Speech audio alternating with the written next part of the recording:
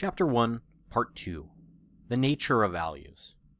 From Ethical Choices An, Introdu- an Introduction to Moral Philosophy with Cases.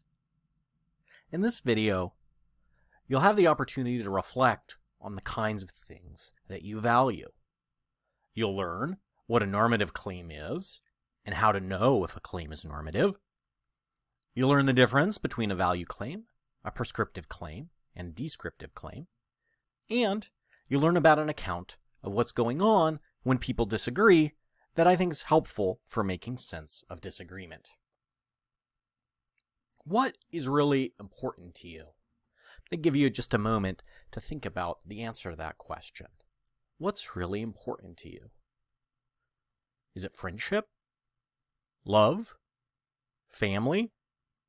Faith? Health? Happiness?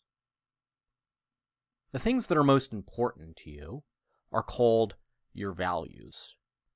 Our choices attempt to represent what is most important to us. Now, what does this mean? Our choices attempt to represent what is most important to us. Um, what I think that it means is that uh, the choices that we make are in line and follow from the things that we value. Values are normative. This means that they belong to some standard or norm that allows them to be used for evaluation. To say that a road is no good appeals to a standard about what roads should be like. If I say that Veromi is honest, I'm saying that she measures up to a high standard of truth telling. If a doctor says that you have a poor heart, the doctor is comparing your heart to a normal functioning heart and making a claim about its condition. Each of these value claims refers to some kind of standard and is evaluating a thing relative to this standard.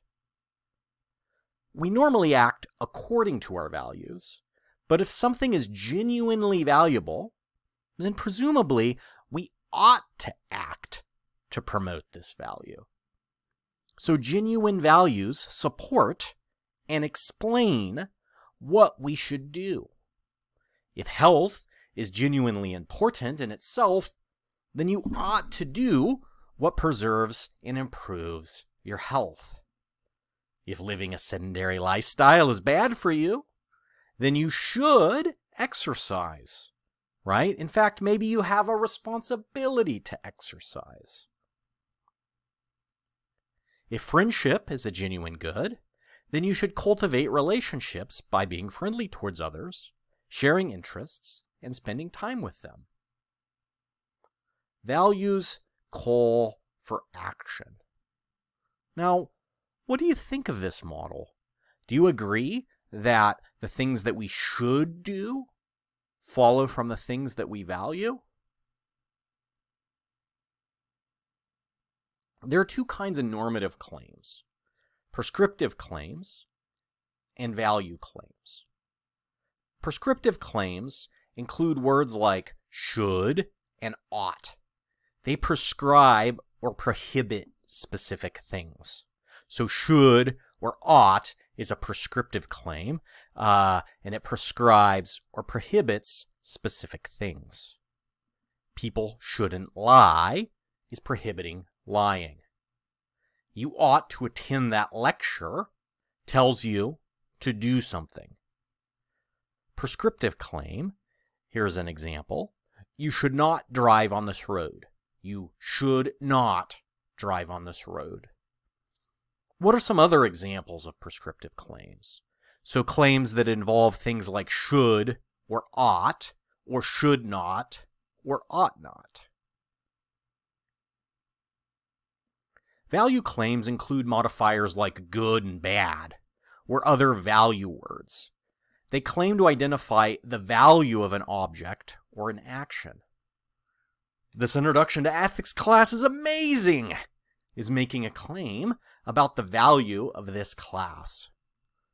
Dr. Nash's singing voice is bad, is making a claim about the lack of value of my singing voice, which I assure you is true. Here's an example of a couple of value claims.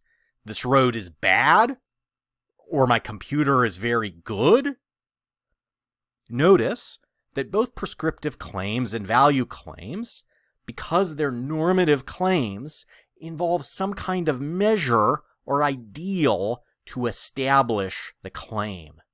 So there's always something that we can use as a measure. Remember, that's what it means for a claim to be normative. Value claims and pres prescriptive claims need to be carefully dis distinguished from descriptive claims. All right? So, before we move on to descriptive claims, think of an example of a value claim. Okay, descriptive claims. A descriptive claim asserts something about how the world is, not how it should be. This is important because the way that things are is not always the way that they should be. Man, very, very true. The way that things are is not always the way that they should be. Descriptive claims don't appeal to any standard, and they don't evaluate. They simply describe. All right? Jeff is six feet tall. I used to hate broccoli. Over a billion people will remain in desperate poverty this coming year. What's an example of a descriptive claim that you can come up with? All right, let's move on to a story about Bill. At the store where you work, you notice Bill, one of the employees, stealing small amounts of money from the cash register. Bill's always lots of fun. Your job would be pretty unpleasant without him. He's also a friend. In fact, he helped you get your job. But the store manager, having recently noticed cash shortages, now for several days, has threatened that no one will get an end of the month bonus if the shortages continue. Should you report Bill to the manager? And importantly, why do you think that you should do what it is that you want to do in this situation? All right. So, what do you do in this situation and why? And what value is leading to your decision here? Now, I'm going to pause for a moment because I want you to think about this. This will come back up in uh, one of the assignments this week. What do you do in this situation and why? And, and what is it that's leading you to do it? Now, if we were in an in-person class, I would ask this out loud, and what we would discover is that different classmates have different views on what it is that we should do in this case and why. Now, I, I can't do that uh, in this video, um, although we will do it in a discussion this week. But to sort of imagine how this is like, so we can talk about disagreement here in a moment, what's another way that someone could act in this situation? And that this is a way that conflicts with the way that you came up with in the previous two questions. And, and what value is leading to this decision, the decision that conflicts with yours? Now, look, we might decide that we want to turn Bill in because we value honesty, right, or not stealing. We might, on the other hand, uh, decide to not say anything because we value friendship. Uh, and are there other ways that we could respond? Inevitably, there are. And ask yourself, what values are leading to these other decisions? Okay. Now, the story about Bill brings us into a model of a way to think about disagreement. So it may seem that people disagree because they have different values. However, interestingly, most people tend to share most values, right? Where people differ is in the importance that they assign to each of their values. Think back to the story of Bill stealing from the register and the options that we came up with, right? Maybe we uh, value honesty and not stealing, right? And so we just think we should turn Bill in. But notice that if we value honesty, that doesn't mean that we don't value friendship, right? And the other side uh, that might disagree with us says that, no, uh, I value friendship even more than honesty, right? But that doesn't mean that they don't value honesty. It just means that they value friendship more, right? So notice that we probably tend to share most of the same values. And when we disagree, what we're disagreeing about is the importance that we assign to each of these values. So what, what do you think of this model of disagreement? Does it speak to you? Is it helpful? Uh, or do you just find it garbage and you don't you don't you don't buy it at all? we have an opportunity uh, to answer these questions in one of the assignments this week. So to bring things together, good and bad apply to values. Right and wrong apply to duties, which are things that we ought to do. Values are normative, which means that we can use them for evaluation because they belong to a standard.